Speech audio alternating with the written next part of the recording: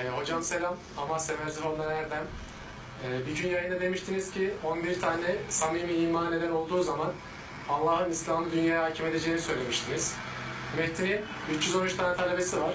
Bunların arasında 11 tane samimi iman eden yok mu? İşte samimi iman eden olduğu için dünya hakimiyetine doğru gidiyoruz zaten. Ya o yüzden dünya hakimi olacağız. Ya dünya hakimi olmak elektrik düğmesine basar gibi olmaz. Bir anda ortalık aydınlanmaz. İmanlı insanlar olduğu için şu an oraya doğru gidiyoruz. Ve kısa bir vakit kaldı. Normalde 40 yıl. Ama 40 yılın 5 yılı kaldı şu an. Öyle görünüyor.